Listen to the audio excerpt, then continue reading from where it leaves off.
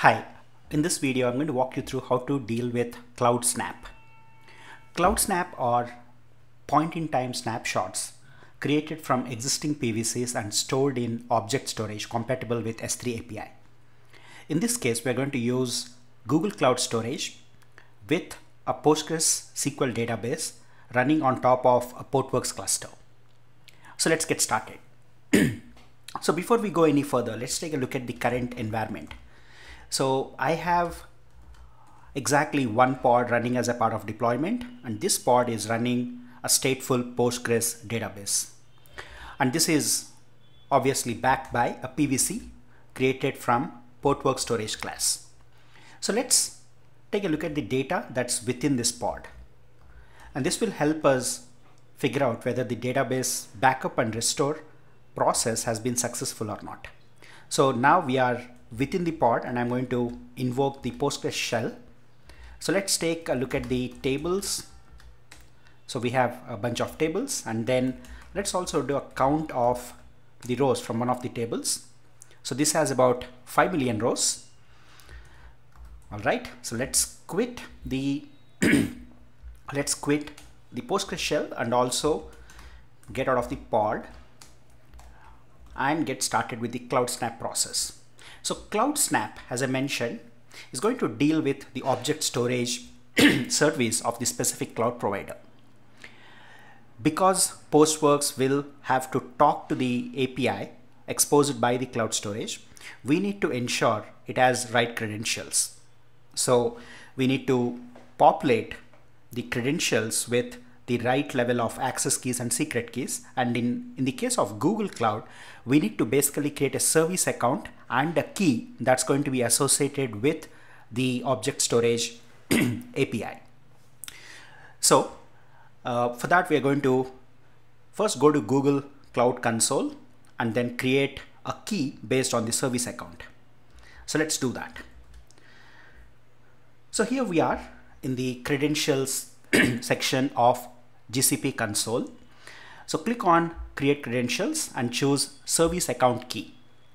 And the service account key is going to associate a key with one of the services.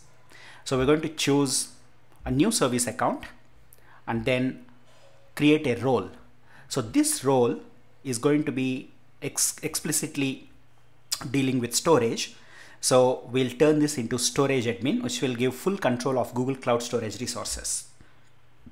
So make sure you select this, give it a name, something like pxsnap, and then click on create and download the JSON file to your local development machine.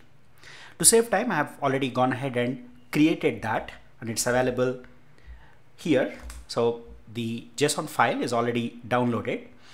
With that in place, we need to create a credential for Portworx to talk to Google Cloud Storage.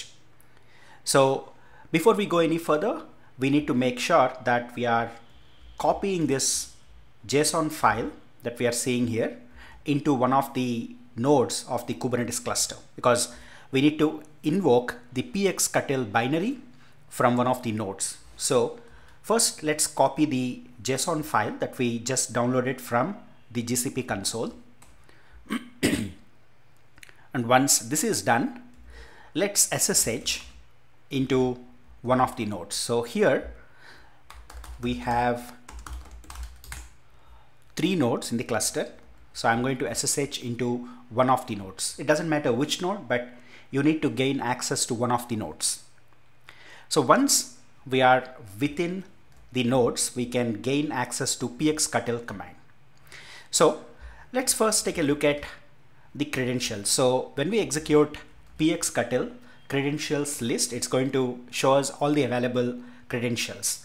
In this case, we don't have any, so it is blank. Now, I'm going to create uh, a credential to talk to Google Cloud Storage. So we are going to pass parameters for the provider, which is Google, the project ID, which is very specific to your GCP project, and then the actual JSON key that you downloaded from the GCP console. So this command will result in Portworx creating credentials required to talk to GCS, which is Google Cloud Storage. Now when we run pxctl credentials list, it's going to show us a, a, set of credentials. So we have Google credentials, the project ID. It is not encrypted. And this is very important before we create a cloud snap. Behind the scenes, cloud snap will use these credentials to talk to the storage, which is object storage backend. And in this case, it is GCS. Excellent. So let's come out of the shell. We don't need to be in the node anymore. And we'll go ahead with the rest of the steps. If you are familiar with creating local snaps, local snapshots for Portworx, the process is not very different. The only prerequisite is that you need to create the uh, credentials required for the cloud provider. and one important thing to note when you are creating credentials within Portworx is to make sure that you are actually using the secret store as Kubernetes. So when you are generating the spec, make sure that you are choosing the secret store type as Kubernetes. And this makes it seamless when you are creating credentials and accessing them from PVCs and so on. I have already gone ahead and, and integrated this with this spec. So we are already using the Kubernetes secrets for Portworx.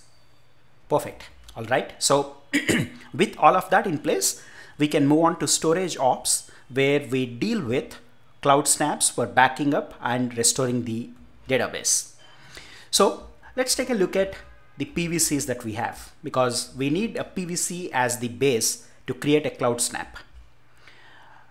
And if you have been following the series, you know that there is one and only one PVC backing up our deployment and the PostgreSQL pod. So we're going to use this to essentially create the cloud snap. So how does the spec look like? Well, it's not very different except that within the annotations, we are going to mention cloud. And this is the key difference between creating a local snapshot spec and a cloud snap spec. So in the cloud, cloud snap spec, we'll add an annotation that will indicate Portworx that we are actually using cloud. And because there is only one set of credentials that we created, it's automatically going to use that to talk to the object storage backend. So let's create the snapshot from this PVC. We can verify it with a couple of commands. Let's check the volume snapshot creation. Then we are going to look at the data and here we may we may have to wait for a couple of minutes because at this point Portworx is negotiating and there we go. It's negotiating uh, with the cloud storage provider to create a bucket and copy all the relevant files to that bucket. Now, it's a good idea to check our object storage browser by accessing the console. So here we have the object browser within GCS, the GCP console. Currently, we have no buckets, but when we actually do a refresh, we're going to see a new bucket. And this is created by the Cloud Snap and, and through the credentials that we already supplied.